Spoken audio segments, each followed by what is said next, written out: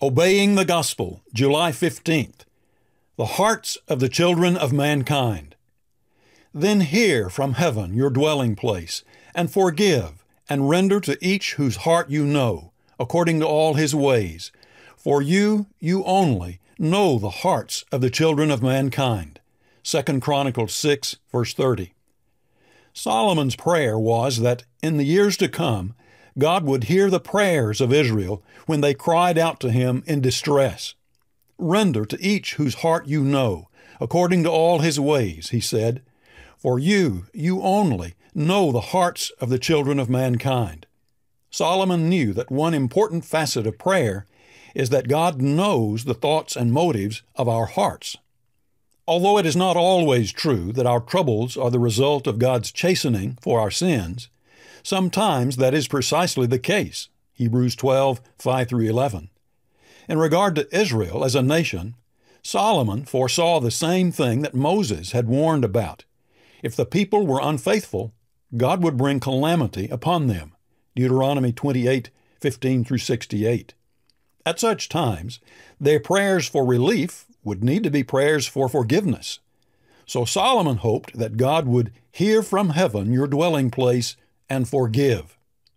When we pray today, 3,000 years removed from the days of Solomon, what kinds of things does God know about our hearts when we pray to Him, especially for His forgiveness? It's to be hoped that He sees sincere hearts, truly penitent, and willing to accept whatever requirements He has set for our forgiveness. Unfortunately, God often sees today what He saw in ancient Israel careless, complacent hearts that are deep in denial of the truth. It has cost God an enormous sacrifice to be able to forgive us. Knowing that, we should at all costs avoid presuming upon His grace, flippantly tossing off requests for His forgiveness as if such requests were a casual thing. We are told that in Jesus Christ we may come confidently before God's throne of grace. Hebrews 4:16 but we had better not come with anything less than a no strings attached commitment to change our ways. No creature is hidden from his sight, but all are naked and exposed to the eyes of him to whom we must give account. Hebrews 4:13. We may fool others about our hearts, but God is not deceived. He knows our motives, and his mercy is a severe mercy that screens out the triflers and the pretenders.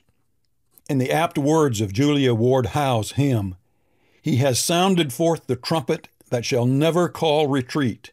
He is sifting out the hearts of men before his judgment seat.